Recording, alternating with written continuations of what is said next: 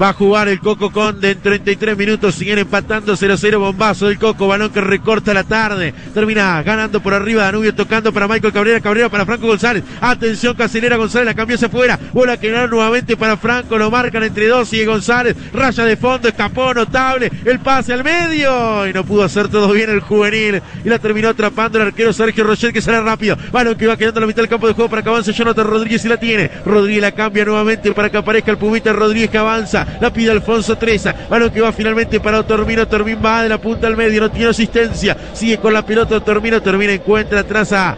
Aparezca Marichal. Lo va teniendo Marichal. Sigue Marichal. Marichal toca para Rizo. Balón que va en zona defensiva para Mario. Rizo tocó para Carballo. Carballo cambiándola para Treza. Treza nuevamente para Carballo. Carballo con Otormino. Balón por parte número 10. La va controlando Leandro. Sigue Otormino. La Vega en la zona central. Hace Rodrigo en cancha y sigue. Va con la pelota Otormino. Encontró abierto por banda a Treza. Treza con el pase rastrero para el Pumita. Despejaron mal, quedó Pumita el disparo. ¡Gol!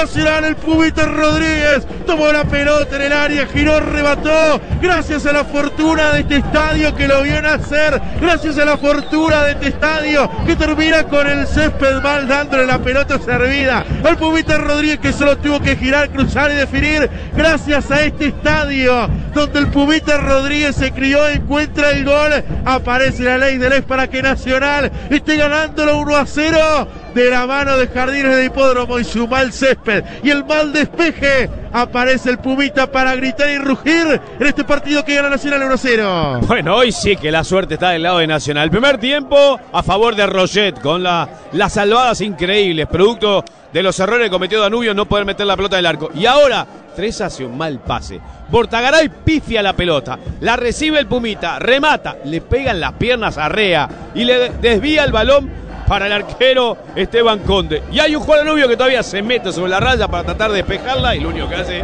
un empujoncito más hacia adentro. Gana Nacional en Jardines, 1 a 0. El gol del Puma, sí, pero ¿qué querés que te diga?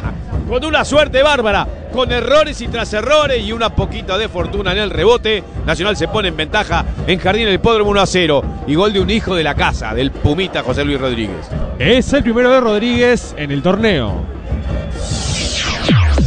Vamos que vamos. El fútbol país.